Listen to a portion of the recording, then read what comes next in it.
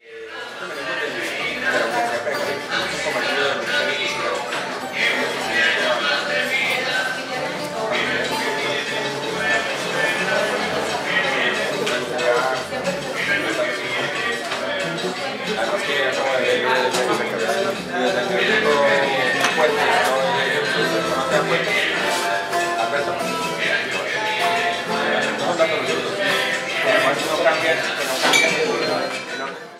La Fundación Cultural El Tropo eh, lleva 23 años de actividad, eh, podríamos decir artística, eh, o en sus labores culturales. Mm, este, este espacio se ganó precisamente por, por inquietud de, la juventud de entonces para generar nuevas alternativas de comunicación, para manifestar algunas cosas que estaban eh, eh, eh, como perdidas. durante estos 23 años hemos tenido bastantes de actividad, hemos generado multiplicidad de eventos, tanto a nivel de, teatro, de música, de danza, de pintura, de eventos deportivos, la, actividad como, como, gestor durante todos estos tiempos nos ha hecho ser muy recursivos. Mm, tenemos eh, multiplicidad de eventos eh, tanto para los chicos, para los eh, jóvenes como para los adultos. La Fundación Cultural El Tropo de Santana tiene múltiples eventos que se vienen realizando desde hace 25 años. Tenemos el Festival Folclórico y Cultural del Tropo, Festival de Requinto, también tenemos eh, la Carrera Atlética Nacional Panelera, el Festival de, Juegos Autóctonos, y aparte de eso hacemos otra clase de actividades que tienen que ver con la descentralización del Festival Internacional de la Cultura. Eh, traemos obras de teatro del Festival Internacional de la Cultura a nuestro sector, a nuestra región, para que la comunidad las disfrute. También tenemos otras líneas de trabajo como es eh, la emisora comunitaria eh, Sol Estéreo Santana, que lleva 10 años al aire. Asadero y restaurante El Frazón Ardiendo, en Santana, la mejor sazón de la región. Pollo asado y roster, combos especiales, mixto, pollo, carne, más sopa, tan solo 5 mil pesos. Almuerzo ejecutivo, Platos a la carta, churrasco, mojarra, bagre, sobre barriga, carne asada, pechuga a la plancha, arroz con pollo y muchas, pero muchas delicias más. Además, deliciosas y espectaculares sopas de mondongo o menudencia, mute de mazorca, bebidas en general. Abrimos todos los días de 8 de la mañana a 10 de la noche. Servicios a domicilio, al teléfono celular 32. Hay otros eventos que, eventualmente son los que, los que tienen que ver con la, con la parte financiera, los que recogen eh, algunos elementos eh, de carácter financiero para poder subsistir eh, en esta crisis que, a veces se ve abocado precisamente uno como gestor cultural debido precisamente a la, falta de apoyo, entre comillas, institucional, pero que cuando uno está en estas líneas lo hace uno como por amor, por cariño, porque le nació y porque tiene uno la inquietud de poder eh, hacer algo por la comunidad, por los chicos, por la infancia, que tengan la posibilidad obviamente de, tener otra visión del mundo u otra visión de, la actividad cultural que se realiza en nuestra región. Eh, es importante recalcar que afortunadamente hemos contado con el apoyo de la familia y del grupo de trabajo de la Fundación que obviamente nos, permite realizar todas estas locuras que a veces se le, vienen a uno en mente y que nos eh, dan eh, una opción de vida y que trabajamos para esa, para esa opción de vida, que es eh, generar espacios de cultura para nuestra comunidad. La comunidad política, podríamos decir, pretende manipular a, la comunidad rural que es la que, al, al elector, nosotros no estamos en, esa posición y a veces nos, tildan como, como que somos una isla, que somos una golondrina eh, perdida en este mar de, arena que se vive en, nuestra comunidad. Mm, la cultura, para, para mi entender, eh, no tiene una, afinidad mm, muy cercana con la, con la parte política. Eh, la parte política a veces se constriñe, a veces manipula la actividad cultural, dependiendo las, eh, las, las, condiciones o dependiendo el, el provecho que pueda sacar el político con referencia a la actividad cultural. El, eh, bueno, como todos, eh, tuve alguna, alguna formación académica, la primaria, el bachillerato. Después, eh, por aquello de la, de, la, rebeldía personal, nos fuimos para la capital.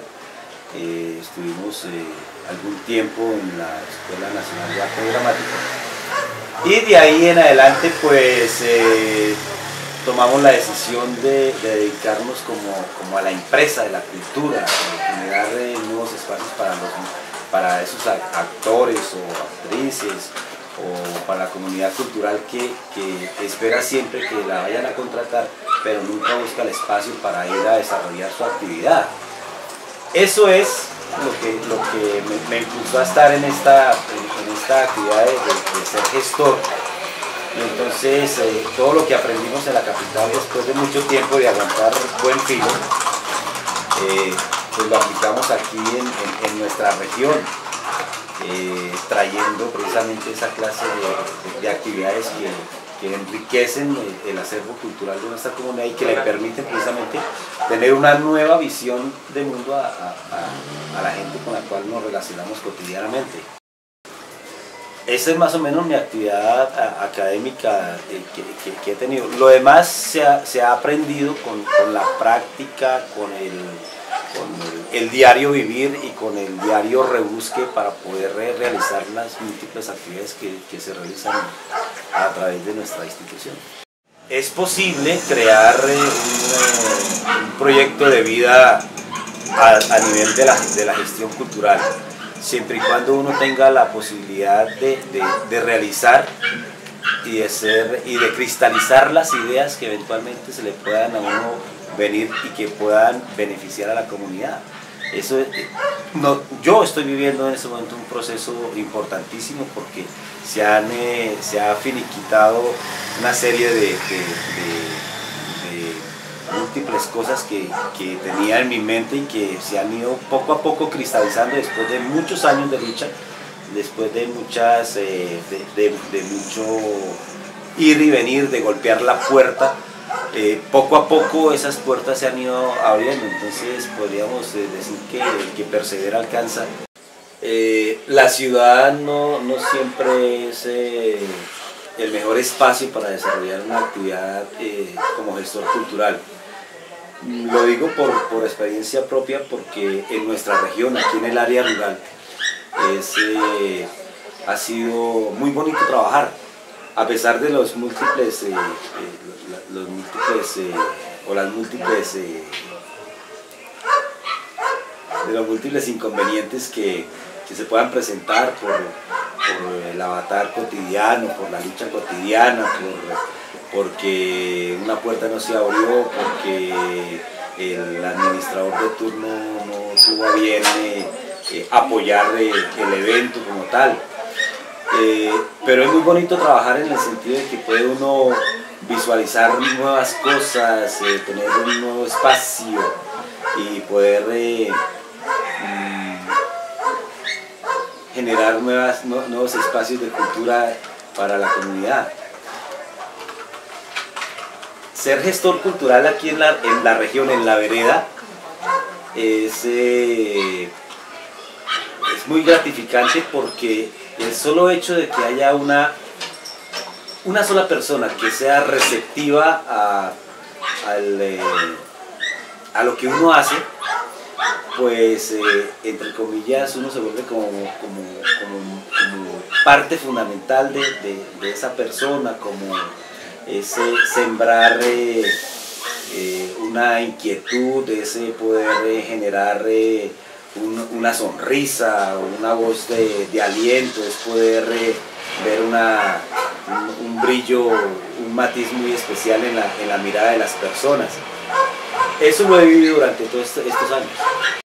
El octavo Festival Nacional del Requinto es un evento que se viene realizando en nuestro municipio para rescatar precisamente este instrumento que, hace parte del engranaje musical colombiano. Si bien el tiple y la guitarra pues eh, tienen un mayor espacio de difusión o de reconocimiento, el requinto se ha quedado rezagado por eso eh, la Fundación El Tropo de Santana ha querido precisamente promover esta, esta actividad porque hay, hay muchos eh, cultores del requinto que están en sus casas generando eh, buena música, excelente música, pero que por la misma condición del olvido de este instrumento pues simplemente se han quedado precisamente en sus casas interpretando estas eh, tonadas en los pasillos, los bambúcos, las guabinas, eh, en sus hogares. En esta versión, en esta octava versión del Festival Nacional del Requinto, eh, vamos a tener la participación de aproximadamente unas 10 agrupaciones importantísimas, precisamente los mejores requintistas del país estarán en nuestro municipio para esta, para esta versión 2008. Eh, tendremos la presencia de Alberto Ariza, que es en este momento eh, uno de los mejores requintistas del país, con una propuesta musical interesante. Tendremos a Jesús Rojas, de igual manera tenemos la presentación de Berlaín Quiroga, que es eh, del municipio de Vélez, que viene con su grupo, con su agrupación, con sus cantantes de Guabinas. De igual manera tendremos la presencia de los hermanos Peña. Tenemos a los hermanos Peña, representación de Santana, seguido de del grupo de Vélez. Posteriormente tendremos la Y agradecerles a todos y cada uno de ustedes por venir a disfrutar de esta, de, de esta presentación a esta hora. Invitamos a los hermanos Luna con un fuerte aplauso, por favor, para que nos subamos al escenario.